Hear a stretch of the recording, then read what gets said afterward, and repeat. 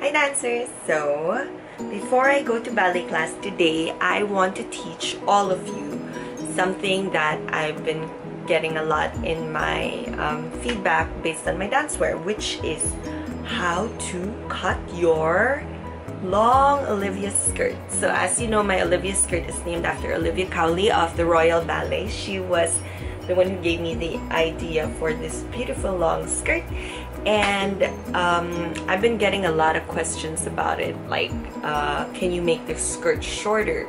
Or can you do different types of lengths? The thing is all of you are different heights and I don't know which one suits you best. So the best thing I can do is to teach you how to cut it so that it would suit or it would be at the length that you want it to be. So what you'll need for now is, of course, your own skirt that you got from either my store or any one of the stores. Uh, tape measure. So have that ready and pair of scissors. Make sure you use scissors that you use for sewing, not regular scissors. They're different um, these ones are sharper and they cut through cloth better. So get scissors that are specifically for cutting fabric. So let's get started. So the first thing I want you to do is to measure from your waist all the way down to where you want your skirt to be. So for example, I want it from here going here only. You take note of where you want your skirt to be. So write that down. Don't forget to write it down. Step two. Step two is to get your skirt and as you see it's wide right now. What you do is you fold it in half like this. So you're going to fold it in half and I'm going to lay it on the bed to show you guys how it should look like laid out on the bed. So before you lay it out on the bed, you fold it in half, you get the tip like this and lay it down. So when you lay it on the bed, hey, excuse my little doggy over there, it should look like this. Now I want you to get the tape measure and measure from which side, which part to which part you want it.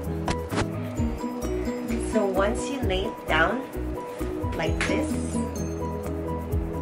so make sure all the parts are even I want you to get from which part to which part. So let's say here because this is where I'm going to cut it.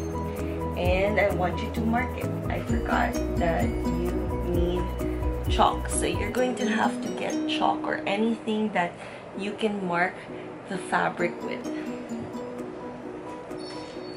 So I'm using a fabric marker. So this is a fabric marker. It's a Japanese one because I get everything at home in Japan.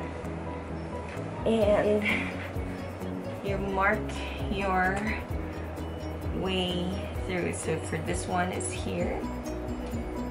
So same here. It's all gonna turn out the same. So mark it here again.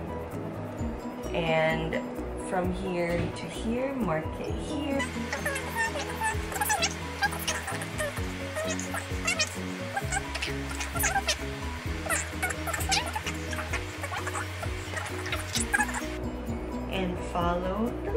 Now you can connect the dots in some kind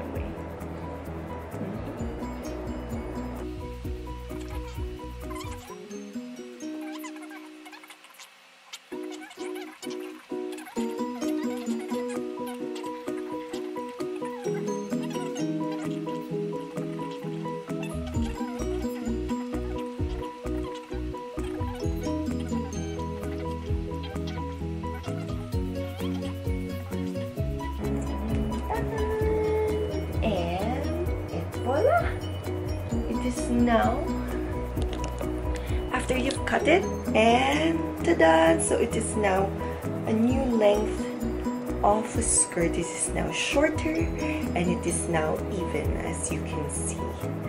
Yeah? Yeah? So now I can wear this skirt and instead of the original length it is now a shorter length. See? So I hope this has helped you a lot, girls. Now you can follow my guide to cutting your own skirts. Don't forget that you have to use a pair of good scissors. That's number one. And have a tape measure with you. Make sure you draw the pattern all the time. As long as you follow the pattern, nothing's gonna turn out wrong or, you know, and so I hope you learned a lot from this video. And if you liked it, I hope you can click the like button or I think it's called the flag button now. The one with the arrow? Yeah. And subscribe. So see you guys next time. Bye